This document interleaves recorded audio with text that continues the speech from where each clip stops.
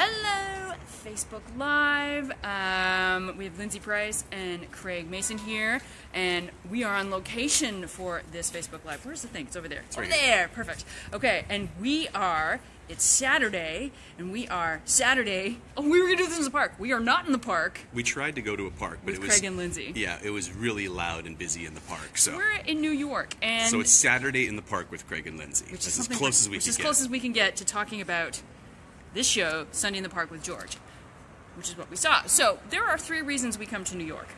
Um, one is as a playwright, um, New York is an observational heaven.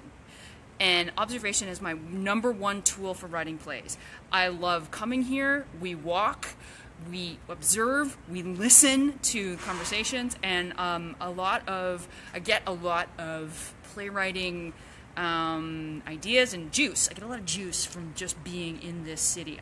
Both Craig and I are like, we would never want to live here, but visiting, we're all about the visiting. There's a time to come to New York and there's a time to leave New York. Time to leave. Um, so that's number one. Secondly, um, we come because we um, it's important to see theater. We are in the theater business, and even though it's um, it's theater for youth and theater, it's educational theater. Um, if you're in the business of theater, you need to see theater. And if you have students who are like, oh, I want to make it as an actor or as a playwright or as a director or anything in the field, the number one piece of advice you can give them is that you need to be reading plays. You need to see theater. You need to, if you're a director, you need to want to be a director. You need to see different types of direction. If you want to be an actor, you need to see different types of plays. If you're a playwright, you need to you need to experience different types of theatrical experiences. Um, so we are going, and while in our time here, we are seeing uh, Broadway. Um, in about two hours, we're seeing something. Um, I'm only thinking it, mu- it's, it must be off Broadway. I don't know what the Park Armory It's is. probably off Broadway. There's all these rules. yeah, I know. It's not Broadway. It might be off off. It might be off off Broadway. And tonight we're going to see something off off off Broadway. Um, it's a uh, it used to be called Too Much Light Makes the Baby Go Blind. It's not anymore, but that's too long of a story to go into right now. But it's a sketch. It's a it's a it's a two minute. They write plays every week, mini plays like two minute. Thirty plays in one hour. 30 plays in one hour. So, so we're here and we're seeing a whole bunch of different things. And the third reason we're here is that um, it's sort of on our bucket list that we are both uh, Sondheim, big Sondheim fans. And it is our bucket list that we will see all of, as many as we can, Sondheim shows. So we have seen uh, Follies, Ollies, assassins. Assassins, um, A Little Night Music, Yes. Sweeney Sweeney Todd. Um, and last night we saw Sunday in the Park with George, and tonight we are seeing Pacific Overtures. So it's just like it is a Sondheim palooza. Pacific Overtures is the get because that almost never gets performed. So Yes. that's one the one really And we didn't even get a chance to we see. didn't even plan it. The whole reason we were here is to go see uh, Sunday in the Park with George, and um, and we just so happened to be here at the same time that there's a production of Pacific Overtures. Okay, so now we're here to the point of this um, uh, Facebook Live, and that's critical thinking and play reviews, right? If you want your students to um, take the, the whole process of a play to a, critical thinking level, that means writing a play review. Uh, somewhere, wherever the description is, um, there is a blog post on how to write a play review. Um, and it is a, it's going to be noisy here. That's awesome. We actually picked This the is the quietest quietest spot, spot we find. could find. Um, critical thinking is really important because it's when you're seeing a play, it's not just, oh, I like that, or oh, I didn't like that. But you have to, you have to determine why, and you also have to you have to think about a lot of factors that are going into. Um, the production. What is the theme of the production? What is the thesis of the director? Um, what is the staging like? Um, Is what- there a fire nearby? is there a fire? Um, is there is there what is the cohesiveness of the lights, the costuming of the tech, all the tech? Um, How does it all come together? how does it all come together? What is the audience response around you? What was the other critical response? And just sort of like, you know, sort of it's compare and contrast and and coming up with a point of view and um, defining your point of view and and and, and um, standing up for your point of view, right? It has to have all of those elements together. So here we are. We're going to talk about uh, uh, the production of Sunday in the Park uh, with George that we saw last night. So there's a lot of interesting factors about this production. So first of all is that it actually stars it stars a movie star. It stars Jake Gyllenhaal. Jake Gyllenhaal is uh, George Seurat, George Seurat in Sunday in the Park with George. So there was a lot of uh, interesting commentary about that because he is known as a movie star. He's a young guy. He's in his 30s, I would guess. Um, uh, and uh, lots of uh, lots of uh, intense acting, I would say, goes on by Mr. Jake. Um, and so there's lots of questions. You know, can he um, withstand a Broadway run? Well, it's the thing is, it's not just a it's not just a show and it's not just a role. It's a it's an immensely challenging role. It's one Lots of the of hardest it's one of the hardest things I think for a male in the modern musical theater. And not only that, it had a very iconic uh, uh, Broadway production with Mandy Patinkin, Mandy Patinkin and Bernadette Peters.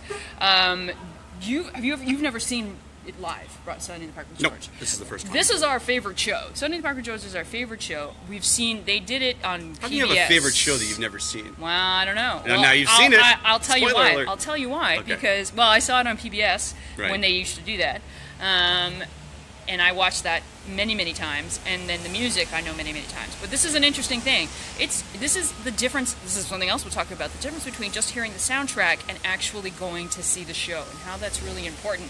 If you've got you've got Hamilton kids out there who are just listening to the soundtrack over and over again, I've talked to a couple of teachers who have gone to see it, and it's like it's not the same. It's not the same. If you're in love with the show, seeing it. You haven't seen the show until you you've haven't seen the seen the show. show until Yeah. you've seen the show. Okay, so that's the first thing. The first thing is that in this show there is a um, a high profile lead, um, and then there is some high profile theater people. Uh, her name Annabelle Lee Ashford. Excellent, Annabelle Lee Ashford. Uh, she won a Tony for. Uh, yeah, let's make sure we get her name right. Okay, you go on. She won a Tony. She won a Tony for You Can't Take It Anna With You. Lee Ashford. Annaleigh Ashford. Uh, she won a Tony for uh, You Can't Take It With You, so a comedic style. Uh, she's been on Broadway many times. She was on in Legally Blonde. Um, so she has a very specific style to her as an actor. Um, and then we have a, a s- an ensemble that has, again, a lot of credibility. Um, uh, one actor who stood out to us, uh, he plays the um, the boatsman, um, and he was he got a Tony nominee for Porgy and Bess, um, and he was in Showboat. Just a powerful, powerful actor. Um, the director of this is the um, she the daughter The daughter of the librettist. Yes, of James Lapine. So um, so- Lapine, I think. Lapine. Thank you. So that's some crit. So there's some some things happening there. So we have a, a director with who has some a connection to the piece. Um, we have a film actor, um, uh, and we have a, whole lot of Broadway a whole lot of Broadway performers. Um, and the reviews, and let's talk about the reviews. The New York Times review of this play was uh, loving. So that's something. Um, and we looked and, and we could only find one One one really one critical review. Mhm. Okay, so that's the background. So that's something that you want to make sure that if you've got your students who are writing a play or play review, what's the background of this piece, right? What what do you know? What can you know going in, right? You don't want to know the whole story. You know, in movies, the, the trailer tells us everything, but uh, for a play, you just that's kind of a background thing that you want to know going in. Okay, so uh, and as we're doing this, if you have things that you have your students do when they write a play review, put it in the comments. Share it with anyone who catches this uh, catches this video. Okay, so um, in one sentence, Craig Mason, what was your what is your opinion of, of seeing Sunday in the Park with George last night? Um, I I fell in love more with the show than I thought I would. But uh, was this, I'm still in a sentence here. I haven't hit my period yet. It's got a but. Uh, yeah. Um, however, I think I'll still see a much stronger production in, in, in my lifetime. I agree. Um, of being someone who has never seen it live, but has, I've got a copy of the, the, the libretto. I have listened to the music You- so many you times. wore your tape out. I wore my tape out. I've seen the I, on on video. I've seen the original production.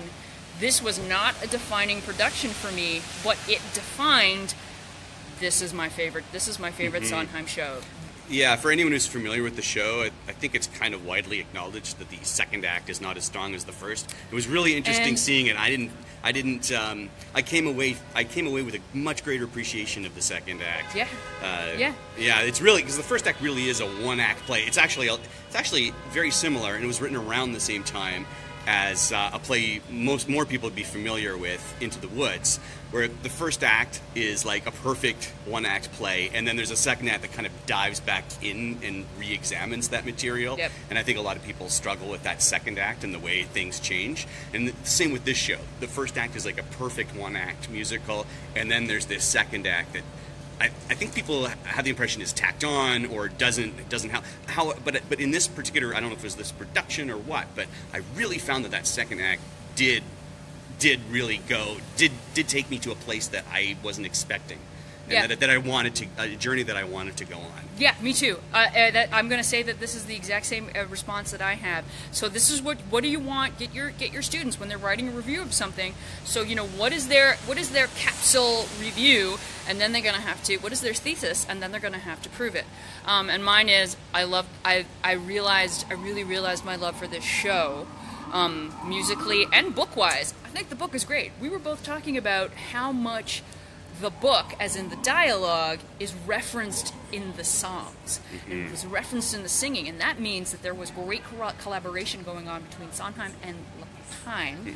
Um, and that so that means that there was a great um, there was great cohesion. Yeah, knowing Um, knowing the soundtrack so well, it was fascinating to watch the dialogue, and there'd be little phrases, little sentences that you go, "Oh, that's going to come back in later." You know, it's going to come back in because you know the song. But it's just really interesting to see that interplay between the composer and the librettist. And we had a long conversation before we saw the, The book show, writer. the book writer, about we, what we think the theme of the play is. Um, and I think in seeing the play, the theme is children and art, life and art. It's not children or art. It's not life or art. It's like where is that balance between between the two And legacy, and legacy which and kind of encompasses both. encompasses both, right? The whole notion of an art piece being forever. It's very interesting in the top of Act Two about how the, the, the, the people in the painting are complaining about being in the painting, and this is not the way they want to be remembered, and it's hot, and it's and the, their legacy is is not what they wanted. It, it was imposed on them. Um, and that the legacy that children brings, right? You know that, that you're passed down from generation to generation. And there's one point where, um, uh, in the present, not the present, but in the second act, where the modern George is sort of being um, a little bit ne- uh, needled by his grandmother about how she, she hoped that they would have children and to you know this is the this is our family this is the lot you know once I'm gone this is all that we've got Georgie um, so that's interesting so that so just the whole notion of the script it was written in 83 I think it really holds up Absolutely, yeah. As a piece. Yeah, I think, uh, yeah, and the second act was still set in '83, right? it was still set in 83 Yeah. I- they- Was there a cell phone or something, or there was some? No, okay, there was something a else. Okay. weird there was, a, weird, moment that I- selfie moment that I thought was like, mm, Yeah. that's too modern. But, yes, uh, yes. yeah. Okay, so so that's one aspect. We're looking at the script as, as in terms of critical thinking of the script, and um, when you're taught when you're getting your students to critically think about a piece, you know you have to separate. Is it and if you didn't like it, it was it the script that you didn't like? Was it the performance that you didn't like? Was The it the direction that you didn't like? Was it the technical aspects that you didn't like? You can't just say you didn't like. There are so many. Theater, as we know, is a collaborative act. There's so many things going on. Okay, so that is the the piece. Let's talk about the direction. Okay. Um, you We feel well. I think we both feel we're not sure about the direction. We I think we feel that that some actors were left to their own devices. I think she was very. It felt very hands off. Um, I, there were Yeah. times where performers, one in particular, seemed to not have anything to well, do. beyond, be, you know, Well, Jake Gyllenhaal, Jake Gyllenhaal. often seemed to have no. I don't. I don't know if he didn't take direction or wasn't given direction or there wasn't. There were some. There was. There were. There were frequent opportunity. There were frequent moments in the show where he was alone and didn't really, to me, seem to know what it was that he was supposed to be doing at yeah. that time, which Uh, was. it, it really was strange. surprising to see him be have wanderitis. Wanderitis. Yeah. Jake Gyllenhaal had wanderitis like you Yeah. wouldn't believe, and that's a basic, right? That is a basic technical theater thing, because then it makes you start looking at all the other actors, and there was nobody else who was uh, who had that affliction. Um, and then there were lots of other pieces where the other actors on stage had really strong, silent, physical moments. And it just makes you start to think did they make those moments for themselves? You know, did they decide that they, that, and in character, right? And I think this is going to go into my thoughts on the difference in the acting section. Um, but there were some real strong character silent driven moments physical moments right so they weren't taking away from the action but they were making sure that they're they, they had something to do and that kind of lends one to think that um, that the director was more hands off And I think that's what a, an experienced stage actor brings to a production Yes. is that they they look at a scene and go, okay, what am I doing? What am I trying to accomplish in this scene, and what am I doing while I'm trying to accomplish that? And and I think, yeah, and I think that's what we were missing from Mr. Gyllenhaal was was that notion. There, when, when he didn't have anything specifically to do in the script except think or wonder or yearn, that was we didn't get anything else from him except a I am thinking now, I am yearning now, I am writing now, I am mm-hmm. I am painting now. Mm-hmm. There was never I never felt like a full a fullness of, of the life beyond that. Mm-hmm. So I don't I- I, don't know if that was I don't know if that was just him or his lack of ex- his stage experience or um, or the director not helping out there, or scared to help, like, or scared to give direction to the big star. Yep. Who yep. knows? Who knows? We, we will never know. This is only what, and then this is This is only just speculation. is- I mean, well, based on what yeah. based on what we see, based on our experience. That's the only thing you can do when you're critically thinking about a piece that you're seeing.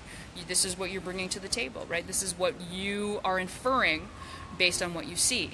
Um, and and I'm gonna say I don't know if there was a cohesive vision in the whole technical side. So that means to me that the director didn't give a cohesive vision.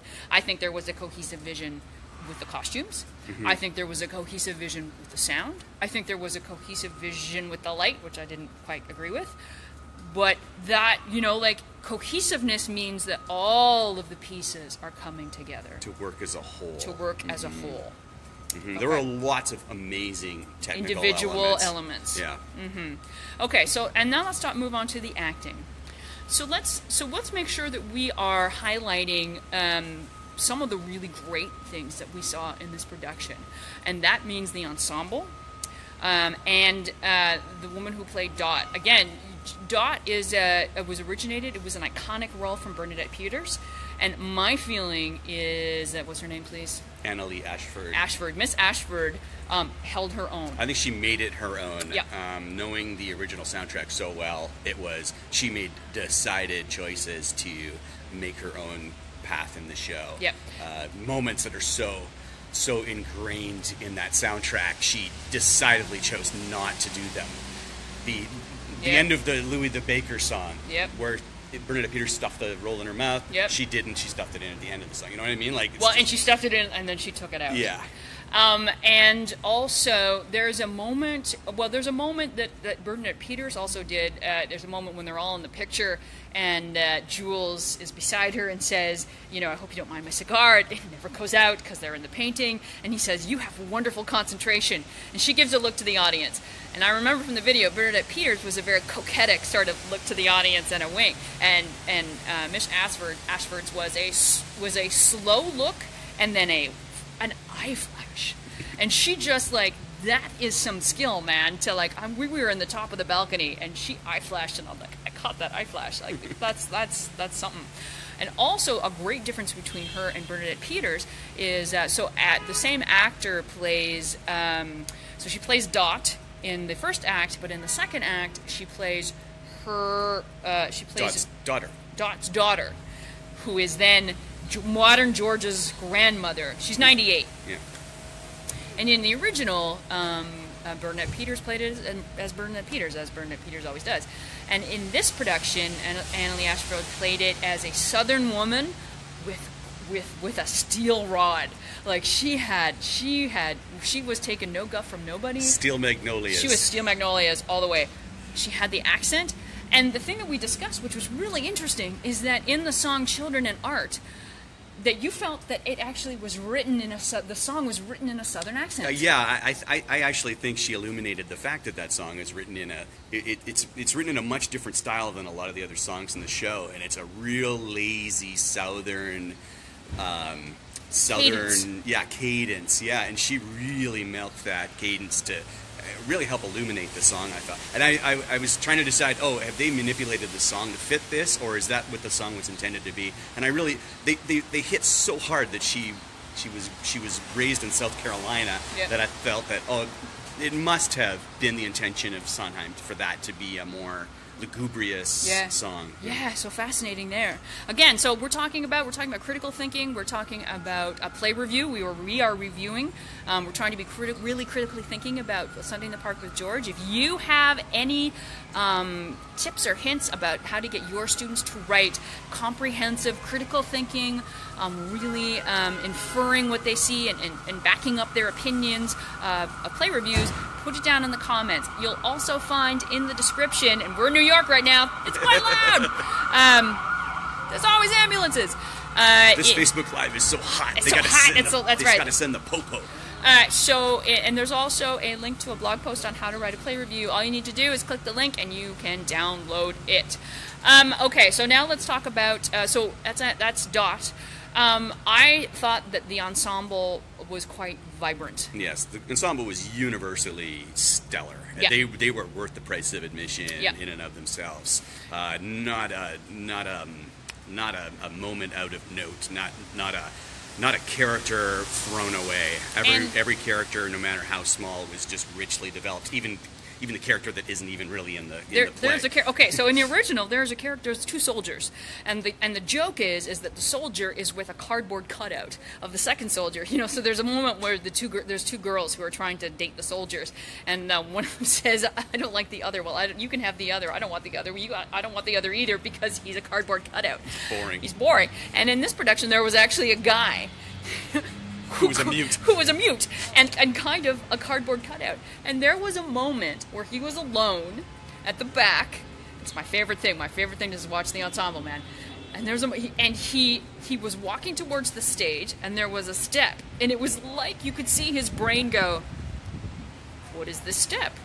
I don't know what I don't know what this is. My friend isn't here to help me." And he turned around and he just didn't go. He didn't go and step on the step. It was a pure character moment.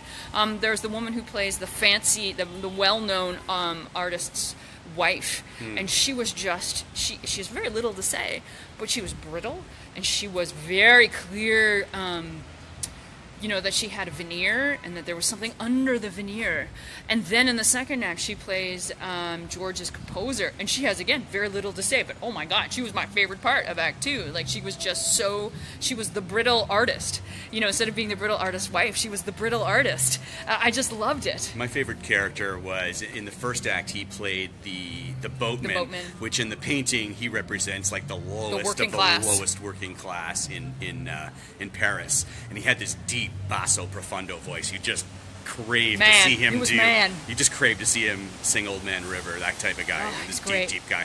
And in the second half, what, what was his character? He was an He was arts, the uh, publicist. publicist. That's and right. he was and well, let's say it he was a stereotype And he, wa- came in as an over the top, like mincing publicist. Like he, his voice was pitched two octaves higher than it was in the first act. And it was just, it was was just, cle- it was just beautiful, you know. Well, it was clearly a choice. Yeah, yeah, You know, absolutely. the guy made a choice. I'm going to be this in the first act, and then I'm going to be this in the second act. And just like, what a great thing to see. And then there is a uh, there's a whole thing in the second act about there's some artists who are very jealous of George. Um, there's a man who was very jealous of George because he was yeah he was he was on top, and now he's not anymore. Mm-hmm. And there's a girl who very clearly used to date the guy who was on top, and now she's like with George. And and it, none of this is in the text. Well, it's kind of, but it's like it was all very physical. It was all very just actors actors doing their job. Actors doing their job, and so we don't want to say that Mr. Gyllenhaal wasn't doing his job because that's not true, and we don't want to say that he wasn't trying, and we don't want to say that he couldn't sing well. He sang well. He tried. He did his job, and he tried. But there is a difference between I am trying to act and I'm a character. we saw the brushstrokes. You saw the work, Yes. and that, and that's what you didn't see from anyone else. And I, I think anywhere else, his his performance would have been absolutely beautiful and, and, and, and great. It's Broadway, However, man. in the context of this production and the strength of both uh, Dot and, and the rest of the ensemble, I I don't feel like he held up his part of the the bargain. And I mean to be fair to be fair to him, it really is. It's an intensely challenging role. It's a it's a it's a it's a it's a first of all, it's a it's a terribly difficult sing. It's it's it's, it's got to be the hardest sing in in musical theater. And it- and it's it's also It's an intensely character. difficult char- character. He's a his especially in the first act, his character his whole journey is about how he's insular and can't reach out on an emotional level to his partner. And and and so he certainly did that, but He- the challenge then- with that role is he in some way he has to connect to the audience he, it's sunday in the park with george we have to go on the journey with him and if he's so shut off that we don't care if he gets together with dot we don't care if he finishes the painting then that's a that's a big problem and that's that's that was my struggle with his performance And I think that that's where we come down on this, and all comes down to communication. Mm-hmm. Everyone on that stage, except for him, communicated with the audience. And it's really interesting. I, I've, I've just finished a big adjudication project. I've seen like I've seen a ton of shows in the past four months, and it all come for me. It's all come down to communication with the audience. How are they communicating with me? And what is that relationship like? And there is a point uh, in the Act Two where the entire cast comes down, and it, and they all say, and that is the state of the art, and they, and on the, and it's like, and that is the state of the, and everyone turns to the audience, and he was the only one who never made eye contact. And I'm like, I don't know what this has to do with him being a, a very, very famous film actor, and he's had lots of problems, and he's had to shut that aspect off because otherwise he gets he gets eaten alive. Well, that's fine, but that's not that's not the job here. The job here is actually to, to talk to me, to us, and to communicate to us. And let's say there were lots of people around us who felt that the show hit them, right? i don't think so Oh, you don't think so? Okay. there was no sniffling during move on Eh, all right. Okay. But we've, we've read lots of reviews of people being really overwhelmed by this show, and we were not overwhelmed by this show. Um, in a way that theater has that capacity to, because I didn't. I think that could have was been it. an off night Yeah. there's two there's only they're at the end of their They're run at the end of the run. Maybe he's shut up. Maybe he's Maybe he's- decided it's maybe he's over. done. Maybe he's done. I don't know. You know. You know. You see. You read wonderful reviews, and then it's like, well, that's always at the beginning. And maybe it was exciting and new, and maybe he's tired of uh, eight week run, eight, you, eight day, eight wait, eight, eight, shows a eight week. shows a week, and you see it on the other side too. You read a bad review and you see the show and you go, "It's wonderful." Oh, well, that meant like maybe they weren't really ready for opening, and now they've gelled and it's come together. It's so it's it's it, you're always seeing. And that's another thing I'd say about about critically analyzing um, theater, especially because you're Mm. always seeing a new show every day. Is and that's the way it should be, really. You're, you're not seeing the same show and you weren't sitting in the same seat and you weren't you know you didn't have the same perspective and you didn't have the same day that the reviewer had before they walked into the theater it, it, it, it's it's really what I love about the theater is just how different it is every time from every seat. And it's it's the, the zen thing about stepping into the same river you know? It's it's it's just always it's just always different and it's alive and I and for that reason I just I just love going So, uh, critical thinking, play reviews. Please go and uh, download the uh, How to Write a Play Review. It's very specifically written for students and, and student writers. This critical thinking piece is an excellent thing to bring into um, your classroom to get them critically thinking about the plays they see and to, for them to be able to define if they like something, if they don't like something, why. And to really start to pinpoint what it is they're seeing, what is uh, what is the theme of what they're seeing, what is the vision of what they're seeing, is that vision successfully um, presented, um, and to always keep in mind, theater is a live thing. Theater changes all the time. If you have great hits, hints and tips about how to write a play review, please put them in the comments. Share them with others. So this was just our sorry dear. This was just our one experience on one day of seeing a show and you may have seen the same show and you'd have been like these people are crazy. They don't know anything. And it's like one day one show and your experience can be completely different. And if it was please go ahead and share it right this is the whole point of critical thinking is that we get into the mindset that um, we have an opinion, we infer specific things based on what we see, and we back up what we think of what we think of what we see. And I think that's what's really uh, important about doing something like this with your students is to acknowledge, and this is this is really important, especially in these days of standardized testing, to acknowledge that there is no right and there is no wrong. It's what is your opinion and how did you how did you support how can you support that opinion Mm-hmm. Yep. it's it has nothing to do with there's, Right there's no right or wrong. There's no this is a good show this is a bad show. It's only your own experience. And so i think that that the, the whole critical thinking analysis aspect of this is uh, super important because it really does emphasize that there really is no right or wrong here. And i think kids are so bashed over the head that there's there's a right answer and a wrong answer. I mean, they're told this over and over again, multiple choice tests, and I, that's what's beautiful about what you guys are doing in your theater classrooms is that you're showing you are showing that there is no right or wrong all the time. It's never black and white, and it's, it's a beautiful thing. That's a wonderful thing to end on. All right, so you go have a beautiful day. We're gonna go see more shows, and uh, Maybe we'll talk about maybe it. we'll talk about We're it. to go see a show with the largest turntable in the history of New York theater. I know. 55 tons of steel. We're going to see the Harry. We, and here's interesting. So we're going to go see a show. So Sunday in the Park of George, we knew. We're going to go see the Hairy Ape by Eugene O'Neill. We know nothing. I've never read the play. I know nothing. I know. I know the the the capsule version of it. I've so, heard the soundtrack a few times. There's no soundtrack. So we're going to go see something that we know nothing about, and that is truly, truly an exciting thing. All right. Have a good day.